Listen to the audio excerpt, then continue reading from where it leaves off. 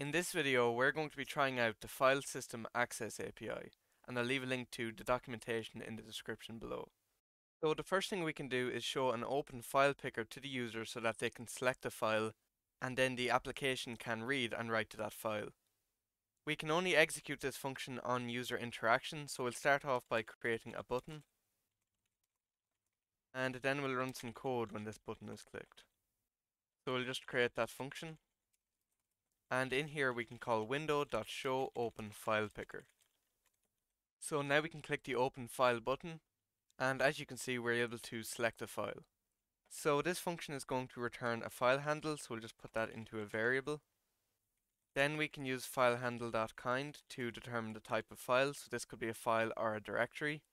So when we select a file you can see it says file in the console whereas if we select a directory and it doesn't seem to be letting me select a directory for some reason, which is unfortunate. So I'm not sure what's going on there. So anyway, we'll move on. So to get the data in the file, we have to use filehandle.getFile. So as you can see, this will return a file object with all the data. So we have the name of the file, the size of the file, the type of the file, and also some information about when the file was last modified. So if we want to read the text from the file, we have to use filedata.text. And actually the file data object implements the blob interface, which means you can use functions like .json, etc. So anyway, we'll just log this text. And as you can see now when we select the file, all our JavaScript code is getting printed into the console.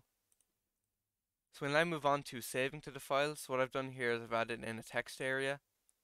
And when we read the data from the file, I just put that data into a text area. So now when we open a file, we're able to edit that file directly from the browser. So what I've done here is created another button for saving the file. So I've just moved the declaration of the file handle to be global. So to save our file, we need to create a writable stream, and we can get that from the file handle by calling create writable. So now we can write to this stream using stream.write, and in here we have to pass in a blob of the data we are writing. So in our case, that's just text area dot inner text.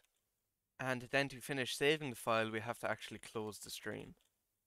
So now when we open a file, we can type in some text and click save. And as you can see, this data is replicated on our local file system.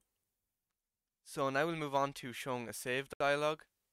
So we'll create another button for saving as. In our JavaScript file, we'll create this function. So what we'll do is we'll update our current handle to be for a new file, and to get this new file, we'll use window.show save file picker.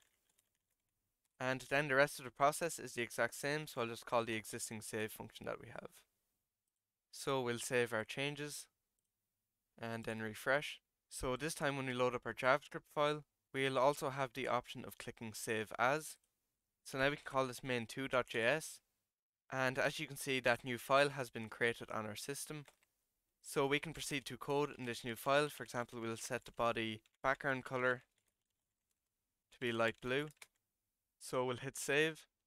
And now you can see if we open our HTML file and load up our main2.js instead, and then we refresh the page, now as you can see the background is blue.